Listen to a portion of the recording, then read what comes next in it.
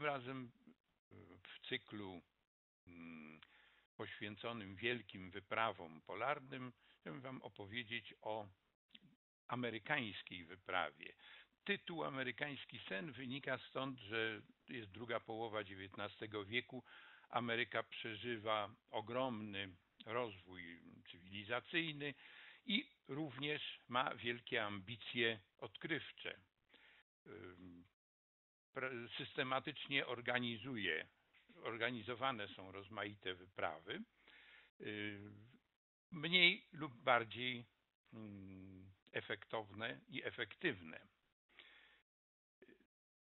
Wyprawa, o której dzisiaj będziemy mówić, wyprawa, wyprawa Jeannette lub wyprawa DeLonga y, od nazwiska mm, dowódcy. Polsce jest opisana bardzo interesująco w książce Sajca w Królestwie Lodu. Poza tym dostępne są y, już w wersji angielskiej y, pamiętniki, czy pamiętniki DeLonga wydane przez jego żonę.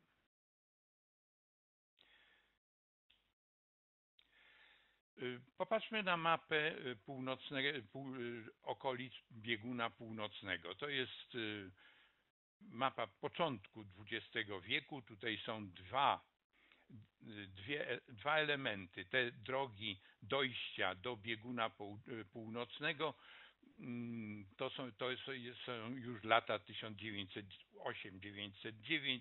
Obaj bohaterowie tych dość kłócili się, kto był pierwszy na biegunie. Okazało się, że chyba jednak żaden z nich do bieguna nie dotarł. Ale mamy czas trochę wcześniejszy. Centralna część basenu pokryta stale lodem, a właściwie świadomość, że pole dookoła dociera się tylko do stałego lodu, jest właściwie jeszcze nieznana. Są próby przepłynięcia wzdłuż wybrzeży kanadyjskich, są próby pływania wzdłuż wybrzeży azjatyckich, ale środek jest zupełnie nieznany i w związku z tym trwają jeszcze, czy istnieją jeszcze przynajmniej dwie koncepcje, jak to wygląda. Jedna wywodząca się jeszcze z XVII wieku z mapy Mercatora Y, który przewiduje, że biegun, biegun północny jest wolny od lodu.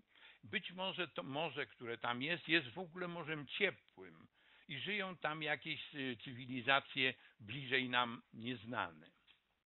Druga wersja, wynikająca już z y, dodawania licznych obserwacji zarówno z północnego Atlantyku, gdzie już wikingowie docierali do Spitsbergenu i według nich y, Grenlandia i Spitsbergen łączyły się pomostem lądowym gdzieś z Azją. Y, później działania wielorybników, którzy przepływali przez cieśninę Beringa i w lodach widzieli ślady jakiegoś lądu, powodowały, że powstała teoria, że istnieje ląd łączący Grenlandię z sąsiedztwem y, y, wschodniej części Syberii. No, ta wersja była y, hołubiona przez Rosjan, ponieważ pozwalała im przypuszczać, że ta duża część Arktyki może należeć do nich, co im zresztą do tej chwili zostało. każdym razie y, wnętrze basenu arktycznego było ciągle hipotetyczne. Pod, y, pod koniec y, drugiej połowy XIX wieku, kiedy już przybyło dosyć dużo obserwacji zarówno z północnego Atlantyku, jak i z północnego Pacyfiku, stwierdzono występowanie ciepłych prądów e, Kuroshiwo wzdłuż Japonii płynący w kierunku cieśniny Beringa i prąd zatokowy płynący na, północ, na północny Atlantyk gdzieś w rejon Spitsbergenu. Powstała teoria, że te prądy płyną daleko na Morze Arktyczne i być może łączą się z, znowu z otwartym morzem w rejonie bieguna.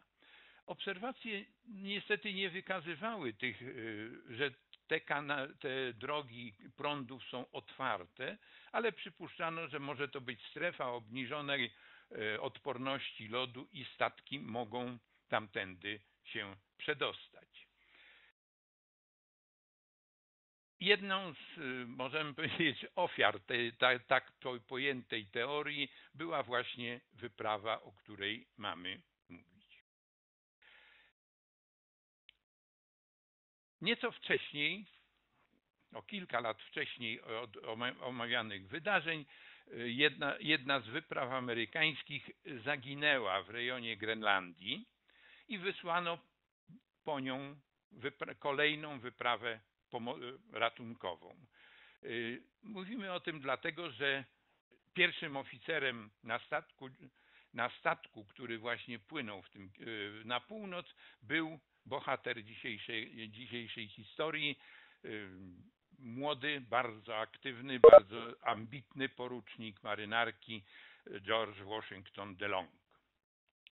Y, poprzednio pływał y, raczej w ciepłych rejonach y, Ameryki, natomiast na tej wyprawie, kiedy statek utknął dosyć szybko na południowo-zachodnich wybrzeżach Grenlandii, zdecydował się popłynąć niewielką motorową łodzią dalej na północ w poszukiwaniu rozbitków. Przepłynął ponad 400 mil wzdłuż zachodnich wybrzeży Grenlandii. Wprawdzie rozbitków nie znalazł, ale zafascynował się y, daleką północą i zaczął myśleć o tym, aby zorganizować własną wyprawę. Zaczął również prowadzić odpowiednie działania w dowództwie marynarki wojennej amerykańskiej, która była bardzo chętna do, takiej, do, tak, do organizowania takiej wyprawy, ale w co trudno nam dzisiaj uwierzyć, była instytucją ubogą. Nie stać jej było na mm, zakup, zakup i wyposażenie statku. I tutaj pojawia się właśnie ten amerykański sen.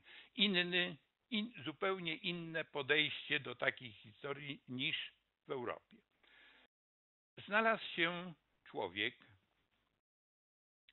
bardzo bogaty, naj, najbogatszy człowiek Nowego Jorku, James Gordon Bennett, właściciel y, poczytnej bardzo gazety New York Herald.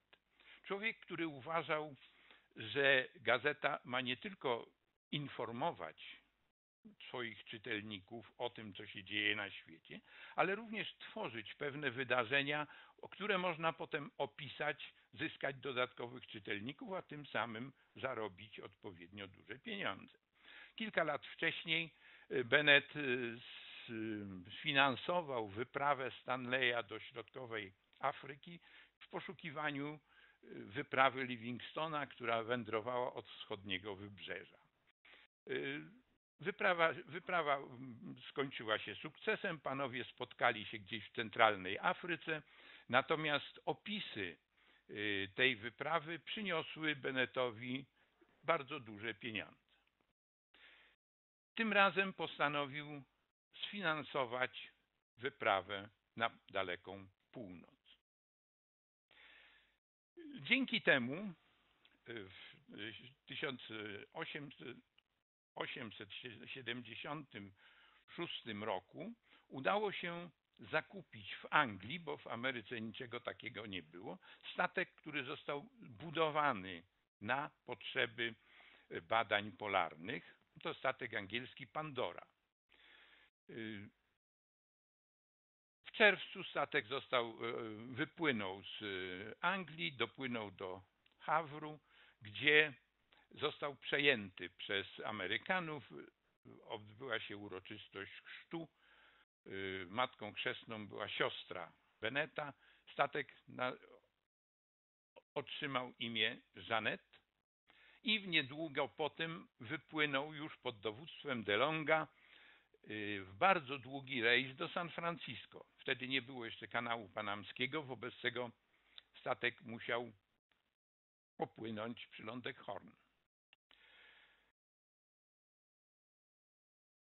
Janet dopłynęła do San Francisco w grudniu i została przekazana natychmiast do stoczni marynarki wojennej, gdzie jeszcze dodatkowo wzmocniono jej konstrukcję. Tu mamy taki historyczny przekrój, gdzie widać, że y, wnętrze kadłuba było wzmacniane specjalnie, aby statek no, wytrzymał nacisk lodów. Przebudowa i y, remont trwały ponad pół roku i w końcu na początku lipca 1979 roku ekspedycja opuściła San Francisco. W ostatniej chwili dowództwo marynarki wojennej zleciło jeszcze Longowi jedno zadanie, mianowicie dowiedzieć się, jak już będzie w rejonach polarnych, od y, tubylców najlepiej, czy nie wiedzą, co się dzieje ze statkiem Nordenschelda Vega. To był statek, y, wypłynął dwa lata wcześniej z Europy, planując przejście y, tak zwanej wschodniej drogi morskiej, czyli wzdłuż wybrzeży Europy i Azji, dopłynąć do cieśniny Beringa. To, tego jeszcze nikt wcześniej nie robił. Statek y, wypłynął i jak zwykle w takim wypadku bywa, zniknął z pola widzenia i nie było o nim żadnej informacji. Podróż Jeanette z San Francisco najpierw na Aleuty, a potem do Saint-Michel na Alasce upłynęła bez większych mm, wrażeń. Mm, pogoda była zupełnie dobra. W Saint-Michel y, DeLong zaokrętował dodatkowo dwóch mm, lokalnych poganiaczy psów i 40 psów zaprzęgowych. Pomysł był taki, że jeżeli statek utkwi w lodach i do bieguna, do którego ma dojść, będzie stosunkowo niedaleko, to może uda się po lodzie dojść do tego bieguna. Pomysł jest wielokrotnie eksploatowany, na ogół z niewielkim skutkiem, jak dotychczas. W każdym razie no, Alaska była świeżo amerykanizowana, prawda? 10 lat wcześniej Amerykanie odkupili ją od, od cara Rosji, z Rosji za jakieś niewielkie pieniądze, czego Rosjanie zresztą do dzisiaj żałują. No ale trudno, tak było. Wypłynęła y, z Żanet popłynęła na Czukotkę i tutaj w Zatoce Świętego Wawrzyńca udało się dostać informację, że Vega Nordenschelda popłynęła już na południe, czyli że jego wyprawa skończyła się sukcesem. W, w ostatnim dniu sierpnia e, Janet wypłynęła na północ. Minęła cieśninę Beringa i udała się w kierunku e, lądu widzianego na granicy lodów, który, no, ponieważ nie było, mm, nikt, nikomu nie udało się opłynąć tego lądu z żadnej strony, uważano, że jest to początek tej y, ziemi ciągnącej się przez całą, y, przez całą Arktykę. No dalej to jest reszta podróży, zobaczymy to zaraz w nieco lepszych warunkach.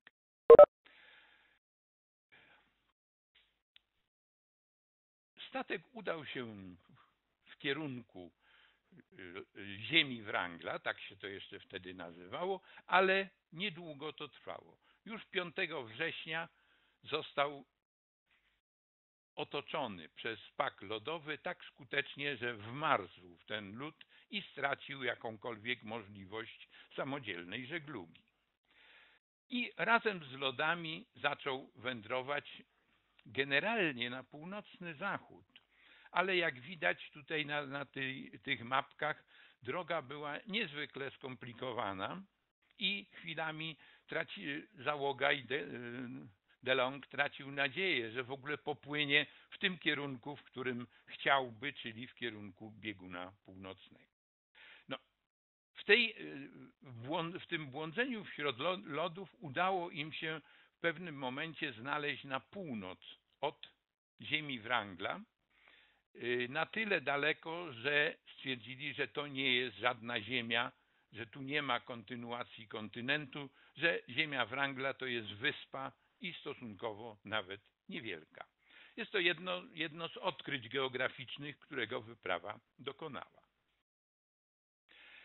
No i tak tkwiąc w lodach, załoga wędrowała, jak widać, bardzo skomplikowanymi szlakami i trwało to dosyć długo. Skończyła się, skończyło się lato 79, y, potem zima polarna, lato 80, a Żanet ciągle tkwiła w lodach. Nic się groźnego nie działo. Załoga miała duże zapasy żywności, więc właściwie tylko bezczynność była rzeczą, która im mogła dokuczać. Robili dosyć dużo obserwacji meteorologicznych i oceanograficznych. Mierzyli innymi temperaturę wody, mierzyli głębokość.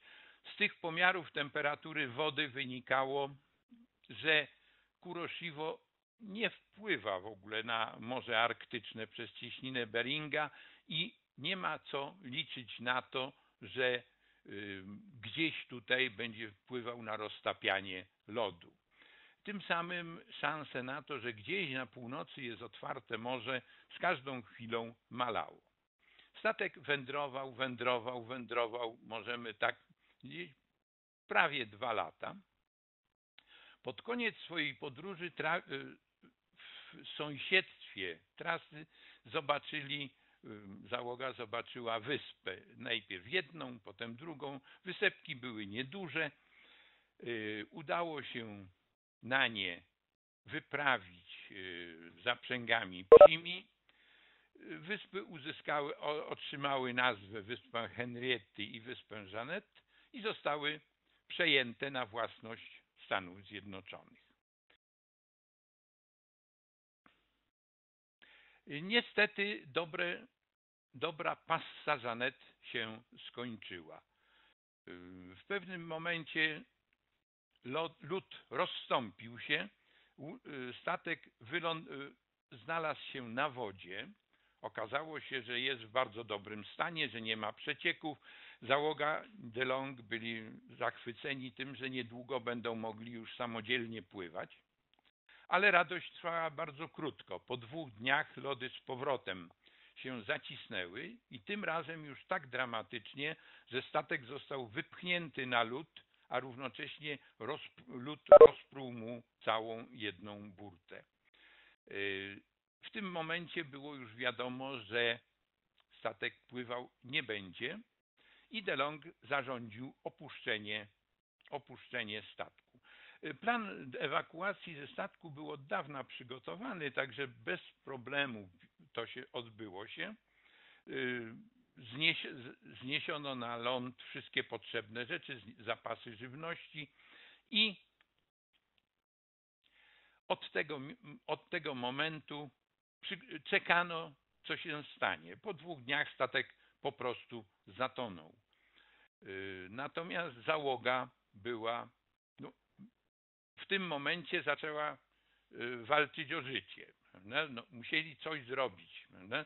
Y, jedyną szansą uratowania się była wędrówka na y, południowy zachód, czyli dojście najpierw na Wyspy Wschodnio-Syberyjskie, a potem do kontynentu azjatyckiego, gdzie były osady ludzkie, przynajmniej y, teoretycznie było tam tych osad dosyć dużo i można było znaleźć pomoc. Początkowo wędrówka po lodzie wyglądała fatalnie, ponieważ y, szli długi czas na południe, a lód przesuwał się na północny zachód. W związku z czym oni po prawie dwóch tygodniach wędrówki znaleźli się prawie w tym samym miejscu, z którego wyruszyli. No ale potem się, sytuacja się poprawiła, udało się wędrować do, znacznie lepiej i pod koniec lipca dotarli do kolejnej wyspy nienaniesionej na mapach, w związku z czym dołączyli ją do swych odkryć, nazywając ją wyspą Beneta. Y, na wyspie Beneta odpoczywali przez y, kilka dni, korzystali z możliwości polowania, więc y, zaopatrzyli się dodatkowo w żywność. No i od... warunki na morzu zmieniły się na tyle, że już nie można było wędrować po lodzie, ale trzeba było płynąć. Y, załoga ciągnęła ze sobą trzy łodzie z taką ilością miejsc, że wszyscy mogli się zmieścić. No natomiast niestety nie mogli zabrać psów które zostały zastrzelone na wyspie Beneta i pozostawione. Dalsza wędrówka była już wśród lodów, ale łodziami po morzu, do obszarów, które były znane, to znaczy wyspy nowosyberyjskie znajdowały się na mapach i nie było tu wątpliwości, gdzie się znajdują. Droga była dosyć powolna, ale skuteczna. No, wędrowali, no, tu ciągle mając y, ląd pod, y, pod bokiem, lądując co jakiś czas na, na brzegu, mogli trochę poprawić y, swoje, swój, swoją kondycję, prawda? Mogli rozpalać, rozpalić ognisko, wysuszyć się po pływaniu łodziami w dosyć sztormowym morzu. Zawsze było to bardzo potrzebne. W końcu 10 y, września dotarli do maleńkiej wysepki siemionowskiej, która była już ostatnim elementem lądowym przed skokiem, powiedzmy, na stały ląd, y, czyli w rejon delty Leny, którą y, na mapach, które posiadali, była zamieszkała. Były tam, było tam na mapach naniesione szereg osiedli, y, no, których część, jak się okazało, to była trochę wyobraźnia kartografów, a część były to osady tylko sezonowe, tylko gdzie mieszkali myśliwi tylko latem, a tymczasem był to, była to już jesień, zbliżała się syberyjska zima. 12 łodzie opuściły Wyspę Siemianowską i przez jedną, jedną dobę, droga do, do Leny, do um, delty Leny było to około 200 kilometrów. Przez jedną um, dobę płynęli dosyć spokojnie. Natomiast y, potem zerwał się sztorm. Sztorm bardzo gwałtowny, który spowodował, że łodzie straciły się z oczu. Każda zaczęła płynąć i ratować się na własny, na własny rachunek. Teren, do którego y, dążyli, to ogromny obszar. To jest satelitarne zdjęcie współczesne delty Leny. 40 tysięcy kilometrów kwadratowych bagien z ogromną ilością y, różnych kanałów, praktycznie bezludny, nadający się do użytku, do chodzenia albo do pokonywania, albo latem, gdzie można pływać łodziami po y, licznych bardzo korytach rzecznych, albo zimą, kiedy wszystko zamarza i rzeki stają się wygodnymi drogami. Tymczasem to była późna jesień, dopiero początek zimy, Także jeszcze nie zamarzła woda, a mm, już było, było trudno wędrować po suchym lądzie. Łódź największa, w której, którą, którą dowodził DeLong, dotarła do północnej części delty. Okazało się, że dno morza na granicach delty jest tak płytkie, że łódź nie mogła dobić do brzegu. Utknęli na mieliźnie około 300 metrów od brzegu i stwierdzili, że nie, ma, nie są w stanie już łodzi uruchomić, zepchnąć, żeby można było płynąć dalej. Wobec tego, wędrując kilka razy tam i z powrotem w wodzie o temperaturze bliskiej zeru, przenieśli cały swój dobytek na ląd. No, y, było to bardzo trudne i spowodowało u wielu odmrożenia, które później y, były powodem y, ich osłabienia i choroby. Wylądowali w północnej części delty i mieli świadomość, że na mapach była miejscowość Bułun. W tym miejscu DeLong wyznaczył spotkanie w momencie, kiedy łodzie się rozstawały, że tu mieli, ponieważ istniała możliwość, że dopł każdy dopłyną, każda łódź dopłynie gdzie indziej, to tutaj w Bułun mieli się spotkać. Wobec tego, mając y, prawie przed sobą ponad 300 kilometrów wędrówki, zaczęli wędrować na południe. Y, no niestety tutaj już zapasy, y, zapasów mieli niewiele, czyli musieli polować, a zwierzyny też już nie, nie było i zaczął im dokuczać głód. Po wylądowaniu na pierwszym wyniesieniu, które było na tyle wysokie, że uważali, że wiosenne powodzie nie zaleją tego wzgórza, zakopali y, przywiezione ze sobą dzienniki statkowe, y, przyrządy pomiarowe, część broni, która była niepotrzebna, wszystko to, co utrudniało y, wędrówkę zmniejszało szanse wędrówki na południe. I pomału zaczęli się przesuwać na południe, ale ich sytuacja była coraz gorsza. Nie spotkali żadnych miejscowych. Yy, zwierzyny nie było, wobec tego zaczęli cierpieć głód, a poza tym dokuczały wszystkim bardzo odmrożenia, których nabawili się między innymi przy lądowaniu. Grupa była coraz słabsza, w związku z czym 9 października DeLong y, postanowił rozdzielić. Dwóch naj, najsilniejszych y, członków grupy wysłał y, na, na południe na lekko, znaczy tylko z bronią, na mm, południe, aby próbowali dotrzeć do jakiejś osady ludzkiej i sprowadzić pomoc.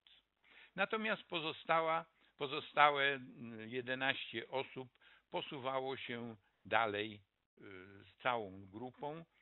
Y, no, coraz gorzej, w coraz gorszym stanie y, głód i odmrożenia powodowały, że poruszali się niezwykle wolno. W ostatnich dniach już tylko czasem kilometr dziennie. I w końcu zaczęli po kolei umierać. Z notatek, z dzienników y, DeLonga, które prowadził jak do ostatniej chwili, wywnioskować można, że 30 października ostatnie osoby tej grupy zmarły. Gdzie nie było wiadomo. Natomiast szybka dwójka, która wyruszyła 9 października i posuwała się na południe, spotkała rzeczywiście mm, dwójkę myśliwych, miejscowych myśliwych, ale nie udało im się ich porozumieć z nimi na tyle, żeby wytłumaczyć, że na północy są ludzie, którzy wymagają pomocy. Poruszali się razem z tymi myśliwymi dalej na południe i nawet w większej osadzie zimowej nie zdołali porozumieć się z miejscowymi i nie udało im się zorganizować pomocy. Także wędrowali z nimi aż do, do miejscowości Bułun, gdzie dotarli 23 października. No jak z tego wynika, jeszcze wtedy grupa DeLonga przynajmniej częściowo była w stanie się poruszać. ale były to już ostatnie Co działo się z drugą, innymi łodziami? Jedna z łodzi, najmniejsza z łodzi zaginęła i żadnego śladu po jej wylądowaniu nigdzie na brzegu w żadnej akcji poszukiwawczej późniejszej nie udało się znaleźć. Natomiast łódź wielorybnicza dosyć sprawnie popłynęła, przetrwała sztorm i popłynęła na południe, lądując w okolicy głównego ujścia Leny, bardziej zamieszkałego. Tutaj udało im się porozumieć z tubylcami i razem z nimi wędrowali na południe. W kolejnej osadzie dowiedzieli się, że w Bułun są jacyś Europejczycy, którzy poszukują pomocy i dosyć szybko dotarli do Bułun, znaczy trochę później niż poprzedni, ale 3 listopada grupa dowodzona przez Melville dotarła do Bułun, gdzie spotkali się z tą dwójką, y, która przyszła z, e, y, szukając ratunku dla grupy DeLonga. Melville zorganizował natychmiast grupę ratunkową, udając się, to znaczy za, psie zaprzęgi i dwóch przewodników, udając się na północ, udało im się dotrzeć do miejsca, gdzie y, grupa DeLonga y, wylądowała, odnaleźć to miejsce, odnaleźć między innymi dzienniki statkowe i zapisy obserwacji naukowych robionych w trakcie rejsu, również okazy przywiezione z wysp, które odkryli po drodze, ale początek, gwałtowny początek zimy spowodował, że dalsze poszukiwania nie były skuteczne i grupa Melvilla wróciła do Bułunu, nie znajdując grupy DeLonga. Yy, no, dalszy, dalsza droga była już bardzo skomplikowana. To e, rysunek tej dwójki poszukującej yy, pomocy zdjęcia, y, zdjęć z wyprawy nie ma. Zdjęcia z czasów, kiedy płynęły, płynęli statkiem, czy mm, byli na, załoga była na statku, zaginęły, utonęły razem ze statkiem. Także rysu, ilustracje, które są, są to tylko y, drzeworyty y, umieszczone w wydanych przez M. DeLong pamiętnikach DeLonga.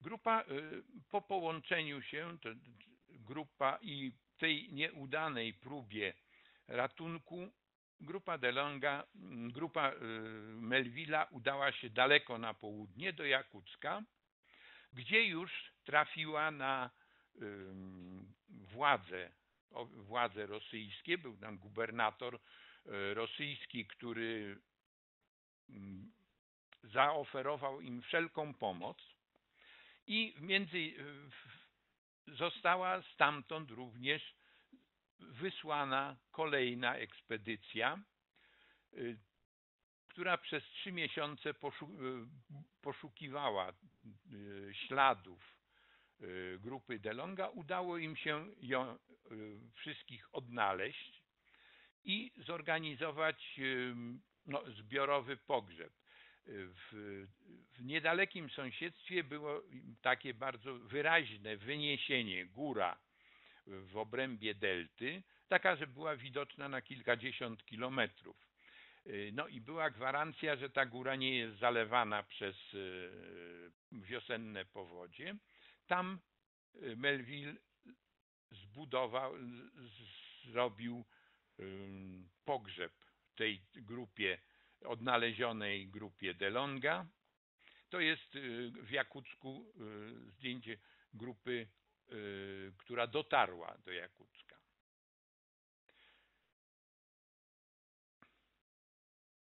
Grupa, grupa poszukiwania, poszukiwawcza, której przewodził DeLong, Melville, była bardzo sprawna, duża i jakby udało im się odszukać szczątki zaginionej części ekspedycji i w rejonie w górze, która potem została nazwana Górą Ameryki, a obecnie nosi kartograficzną nazwę Góry Delonga, zbudować zbiorową mogiłę, z której później pozostał tylko krzyż, bo y, na polecenie mm, y, dowództwa marynarki, a za pieniądze dalej Beneta, y, zwłoki wszystkich uczestników wyprawy zostały przewiezione do Stanów Zjednoczonych. W Akademii Morskiej został zbudowany pomnik e, uczestnikom wyprawy, przypominający swymi elementami ten, e, który istniał daleko na Syberii, a e, to jest pomnik na grobie DeLonga.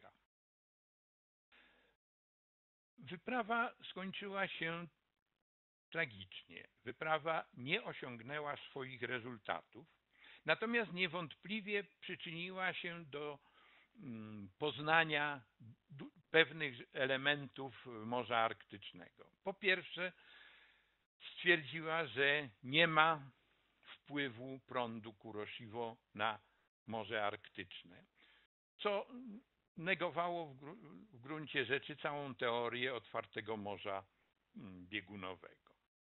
Po drugie, stwierdziła, że ziemia Wrangla nie jest ziemią Wrangla, a małą wyspą, w związku z czym koncepcja lądu sięgającego przez cały, całe Morze Arktyczne również upadła. I ostatni, zupełnie y, zaskakujący w gruncie rzeczy element, który był skutkiem tej wyprawy, był taki, że ślady obozu, który, był na, na, który zbudowała grupa de, z DeLonga po opuszczeniu statku na lodzie, resztki tego obozu po trzech latach znaleziono na południowo-zachodnim wybrzeżu Grenlandii. No, był to niewątpliwy dowód, że pokrywa lodowa na Oceanie Arktycznym się przemieszcza i to przemieszcza się od strony cieśniny Beringa no, na daleki, daleko na zachód. Yy, I to stało się podstawą do pomysłu kolejnej wyprawy, kiedy już yy, sam pomysł był taki, że statek nie będzie próbował pływać w lodach, ale że wmarznie daleko na wschód, gdzieś w rejonie Wysp Syberyjskich i będzie z lodami powinien zbliżyć się do bieguna. Jest to wyprawa Nansena, która ma, będzie miała kilka lat w 908, 908 roku, a więc kilka lat po tragicznej wyprawie Żanet. O wyprawie Nansena powiemy sobie przy następnej okazji. Dziękuję bardzo. Następne dwie strony to jest bardzo bogata e, część niezwykle bogatej e, dokumentacji, jaka, jaką wyprawa Żanet mm, ma w literaturze i również w internecie.